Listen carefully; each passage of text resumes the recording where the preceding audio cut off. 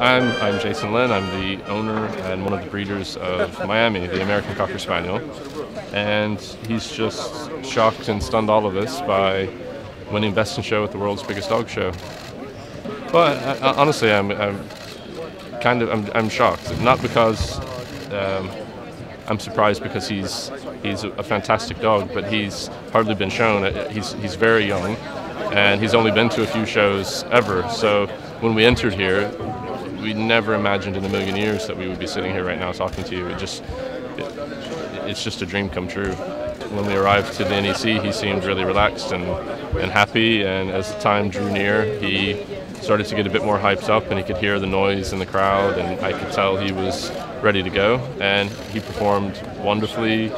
He really was great with all the lights and cameras and noise, and um, he, when the judge walked my way, I, I just I thought I was dreaming.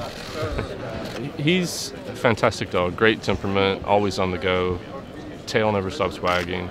Uh, really, really wonderful, wonderful character, and um, pleasure to live with. An, e- an, easy dog. It's an honor, really. I mean, Crufts is, as I said before, it's the world's biggest show, and um, in our in our little hobby, in our in our world of, of dogs and dog showing, it's sort of like the ultimate achievement. So I, I think I've just been incredibly lucky to have this great opportunity and to have had two dogs like Miami and, and Ricky that allowed me to do such a thing.